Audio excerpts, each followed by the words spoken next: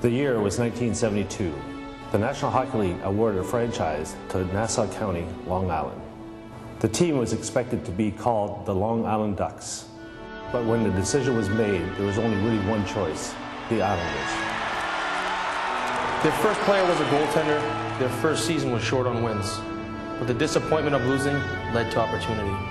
With the first pick in 73, Bill Torrey selected a 19-year-old from Ottawa. A defenseman that some called the next Bobby Orr. With Denis Potvin on board, Torrey's radar was set on a new coach. The man he chose, Al Arbour, had the Young Islanders in the playoffs in only his second season.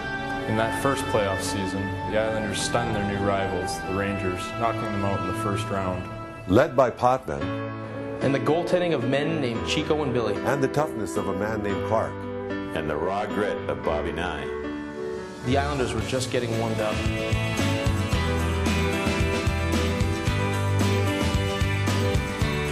Down three games to none, they stormed back to oust the Penguins.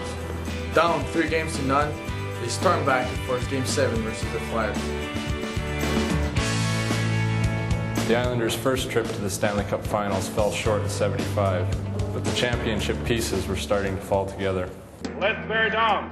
You got maybe another half an hour, so bear down for half an hour. Do it right.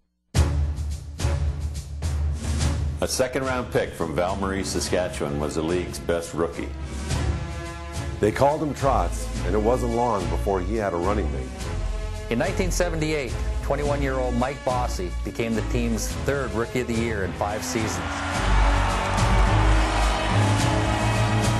Two years later, the Islanders found themselves in Game 6 of their first Stanley Cup Final. Four ties, seven minutes gone in overtime. Lorne Henning passed the puck to John Tonelli. Henning. right on the stick of Tonelli. And then John Tonelli passed the puck to me. Coming in with Nystrom. Tonelli to Nystrom. Bob Nystrom lifted the puck over Pete Peeters.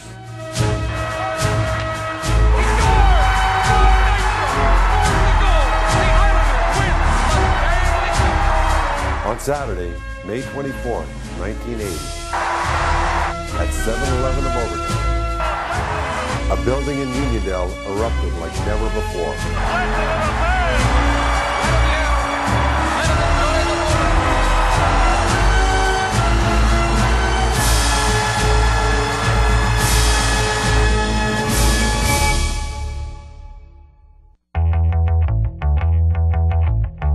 Islanders. The Islanders. The Islanders. The Islanders were champions. We're champions.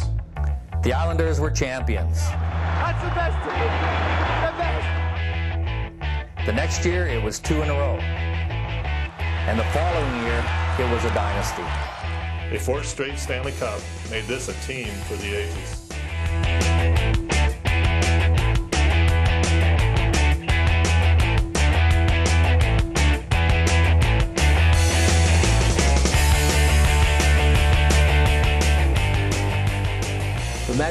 Were not over. In 87, the Islanders and Caps played a Game 7 so long it ended the next day. It became known as the Easter Epic, and it ended like this. Dineen out front, shoots, hit a stick. Comes to the line. LaFontaine shot. He scores! LaFontaine at the blue line. Here in the fourth overtime. The early 90s saw more magic. In 1993, the Islanders went on such a run, it made us all proud. Ferraro looks to Volek off right wing. He shoots. He scores! Defeating the Capitals and the two-time champion Penguins, the Islanders finally fell to the Canadiens. As the century turned, so did the page to a new chapter in Islander history. Rick DiPietro was selected first overall in the entry draft. Alexei Yashin and other new talents were aboard, and soon the team was back in the playoffs.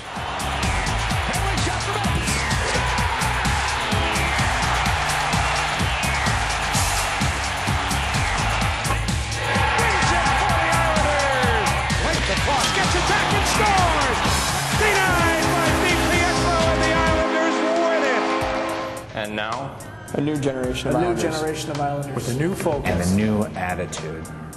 That trying just isn't good enough. The Islanders. The Islanders are ready to bring Lord Stanley home. To where it belongs. Right here, to my home, Long Island. I'm Miro Satan, and I'm an Islander. I am Alexei Zhitnik, and I am an Islander. I'm Alexei Yashin, and I'm an Islander. I'm Trent Hunter, and I'm an Islander. I am Rick DiPietro, and I am an Islander. I'm Jason Blake, and I'm an Islander. I'm Tom Poti, and I'm an Islander. I'm Bruno Gervais. I'm an Islander. I'm Chris Campoli, and I'm an Islander. I'm Jeff Tambellini, and I'm an Islander. I'm Mike York, and I'm an Islander. I'm Brendan Witt, and I'm an Islander. I'm Ted Nolan. Finally, I'm proud to call myself an Islander.